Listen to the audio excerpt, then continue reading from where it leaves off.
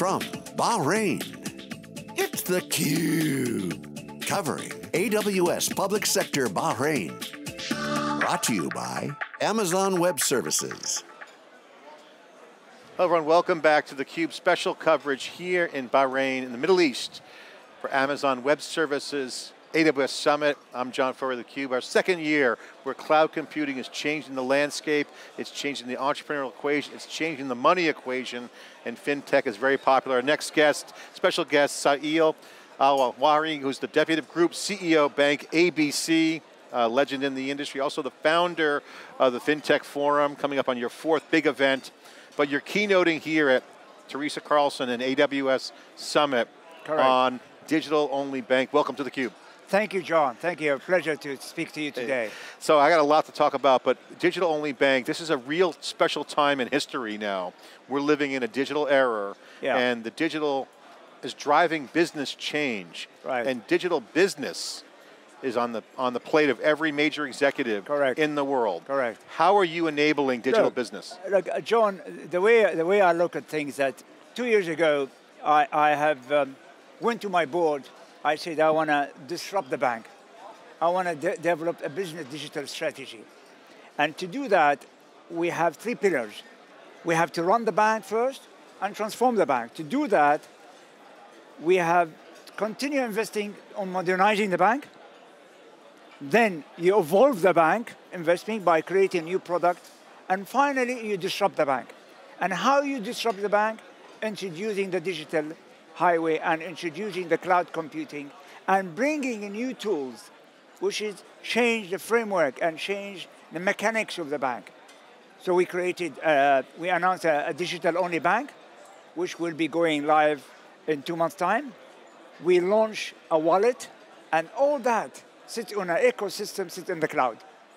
It's a very brave and bold move, but I can tell you without that, you will lose the transformation. Banking today is different than going to be banking of tomorrow. Yeah, we have to start getting into the journey of transformation.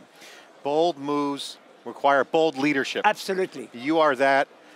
This is hard. It sounds easy on paper. Absolutely. You've got people to convince. I agree. Change is hard. People, cultural change. How did you do it? What was That's the a great formula? question, John. I started that in December 2016. I went to my board when the fintech started moving, hitting our part. I said, my, look, I want to be on a transformation journey. And I worked for about six to nine months, increasing awareness with the board. You need to explain to them fintech. I brought them actually a special fintech speakers, guidelines. So I invested heavily uh, with all the stakeholders, board level, people, group CEO, and tell him about the impact of digitization. You cannot afford to sit idle. If you sit idle and do nothing, the train will move, will go without you. So what you're saying is that the investment is the awareness. You have to explain to them why you cannot treat fintech as a threat. You have to embrace it. I love that. I love that leadership. It takes time Takes to time. nurture and, and set the table. Absolutely. And then understand the cloud-only strategy. Absolutely. And then you got to sell it, and then you got to implement.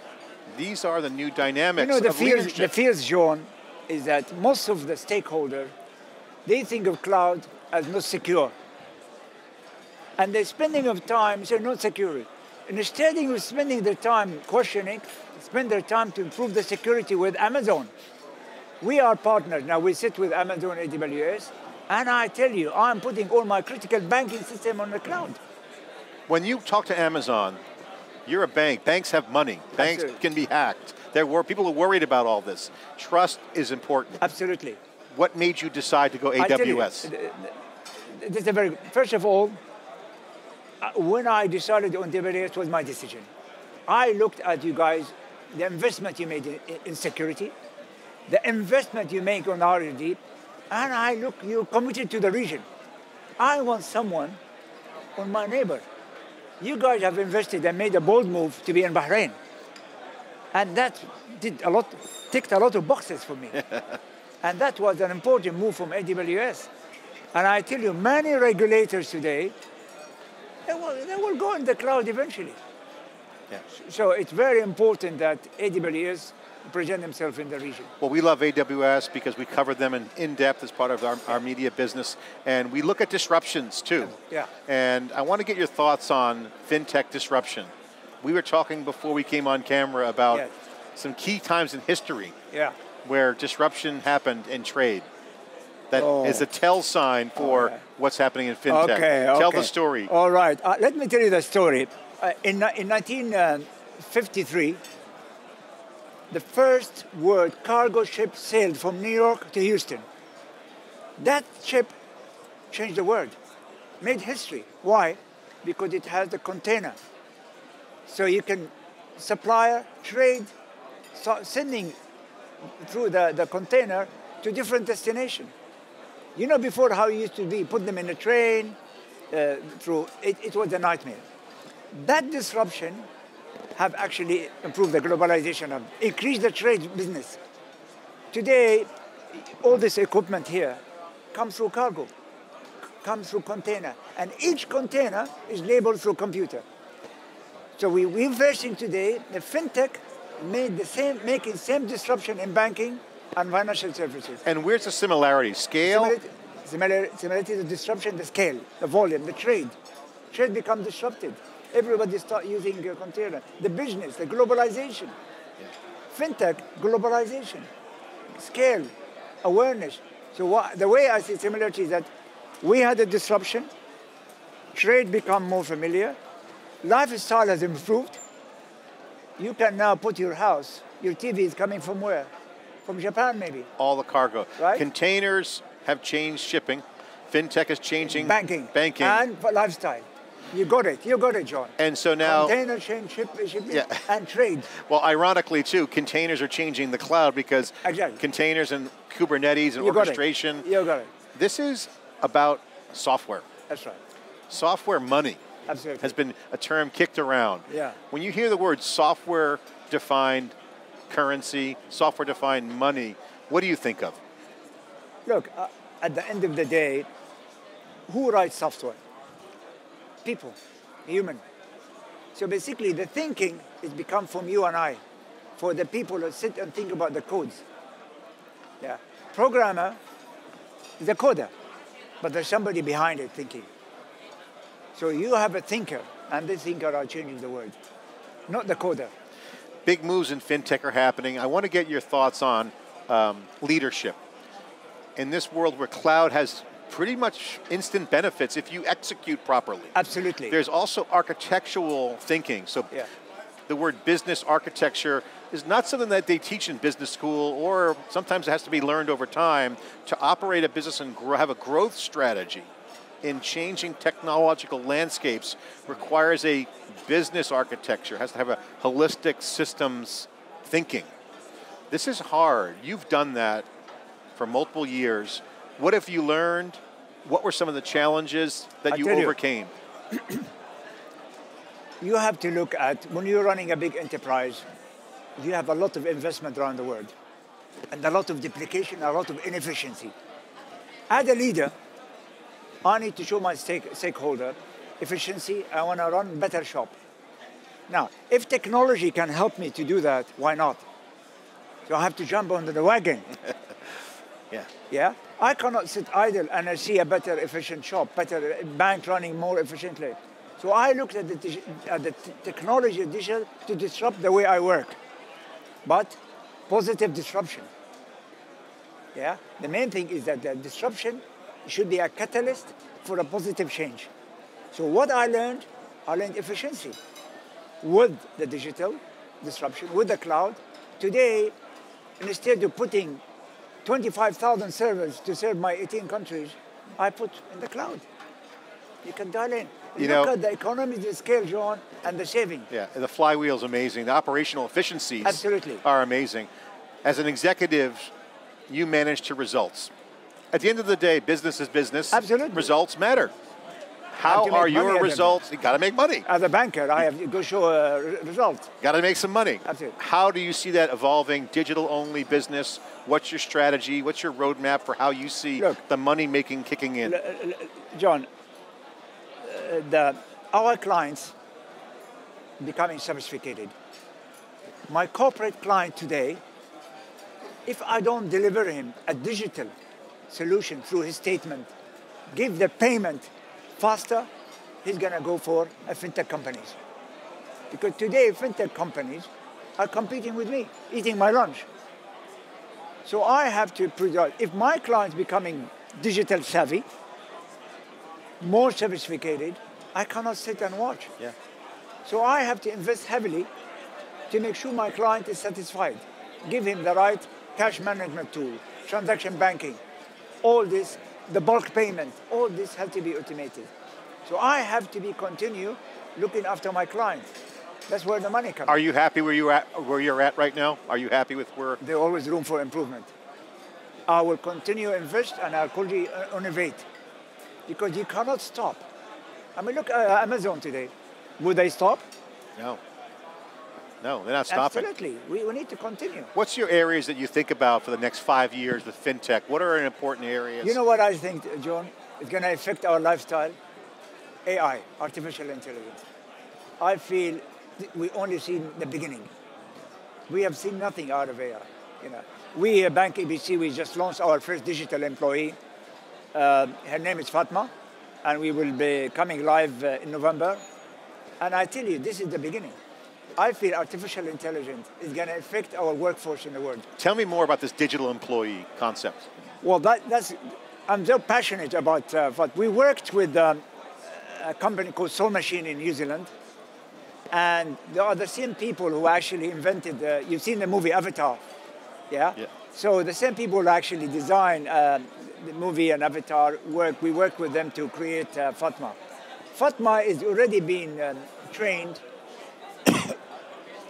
to help a new client of Bank ABC, the digital Bank ABC, to open account, to choose the correct credit card for you, help you, and also to be able to have a chat with her, to be able to ask her a, a question, general question about the Bahrain, about the population, about banking. It's a journey. And this journey has so far been successful. And I can tell you, if you ask me the question in a year time, I will tell you probably Fatma will be somebody else. This is helping augment the experience Yeah. for your customers. That's the goal? Absolutely. Improve experience for my consumer and customer. Okay, I want to change the subject and talk about the you're the founder of the FinTech Forum. yeah. You just had your third edition, fourth this- coming up. yeah. Talk about the event. What's the purpose I'll of the tell you event? what. Um, when in in um, about late 2016, December, two, I went to the um, Central Bank of Bahrain governor, and I said we want to sponsor a fintech uh, conference. so um, uh, sort of like impressed that um, he immediately embraced the idea, and then I went back to my board, my group CEO. I said we want to sponsor the first fintech conference. And my purpose at that time is awareness because at that time, in, in early 2017, we hear fintech around the region, but nobody actually sat there and say, what's the impact of fintech on banking? You, you've seen other big tech. So I launched the first fintech conference. It was a success. Second was also a success. The third one was a coup. and because we put the top speaker around the world. And now people are chasing me for the fourth one. You're in the event business now. And no, we, we, we've, uh, we sponsor, Bank ABC was the sole sponsor. Got it. Sorry. That's exciting, and I, I think these events are changing too. Um, the fact that you're getting into events, you're contributing your knowledge. Absolutely. You're also sponsoring, providing some some working And capital. this is our contribution to Bahrain. As a bank, international bank, this is the least I can do to support Bahrain in the infrastructure, in, in the vision, in the fintech. Sorry. No problem. Think- Help yourself with the water. I want to, Sael, I want to get your thoughts on something um, I feel is important. I said this last year and the year before. When Amazon launches a new region, Yeah. it creates a revitalization. it has um, computing power, has all those Yeah. things. It's a center point of innovation.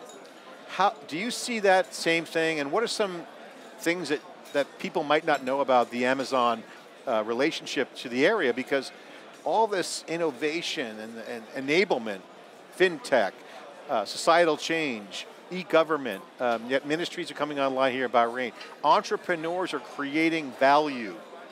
They're getting funded. There's liquidity. Banks are going fintech.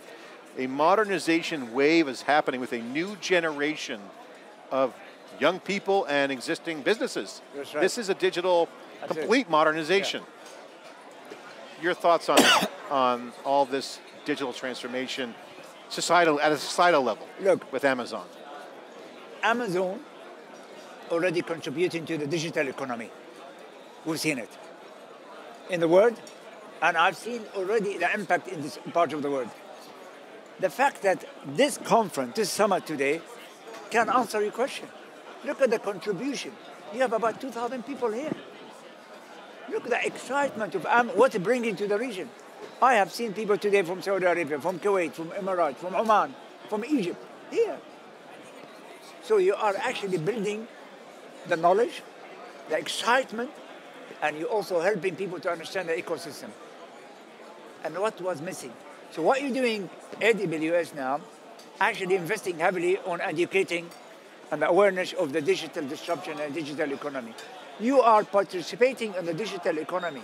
I mean, also today I heard from Teresa, um, which is a very good, uh, so they're sponsoring um, a program, a, a- a degree with the University of Bahrain. Yeah, And that is fantastic. a bachelor's degree. So this is basically, you continue doing that, and you find AWS is already a fact of life. It's like the cloud is going to be fact. So I think AWS is already contributing to the digital economy worldwide. You know, I'm fascinated. I'd love to have more conversations with you on this, maybe at your forum. But one thing I want to get your thoughts on is with digital, Yeah.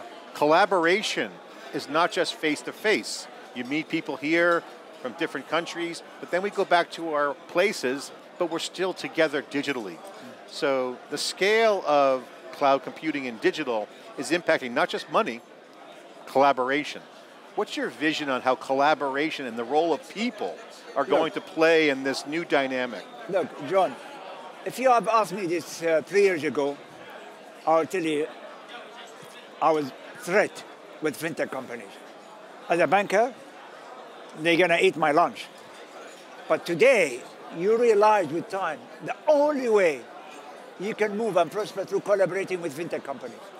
That's why today I'm sitting with AWS, sitting with other uh, big tech, basically collaborating because I know my banks, but I don't know how to build a cloud technology. Yeah. So I collaborate. I don't know how to build um, uh, a new uh, Sophia or, or Fatma digital. So I go with, I went to New Zealand to get that.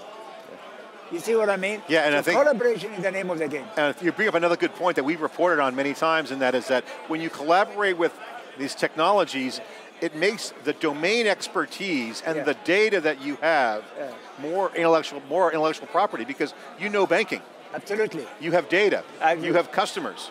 That's your intellectual property. You could use that faster with a resource. Absolutely. This is the new competitive look. advantage. With analytics, with data science, the data is the new order. It's the future. But you need the tools. You need the analyst, you need the data scientist. And when you have the data scientist, the data has become the new order. Sael, thank you for sharing your awesome insights here on Pleasure. theCUBE, here in Bahrain. Really appreciate it. Congratulations. Keynote speaking, Bank ABC. Thank you very much, Going John. all digital, bold moves, bold leadership. Thank you. Thank you very much, John. We're Thank here you. in theCUBE. We are live broadcasting here in Bahrain, AWS Summit. I'm John Furrier. Thanks for watching.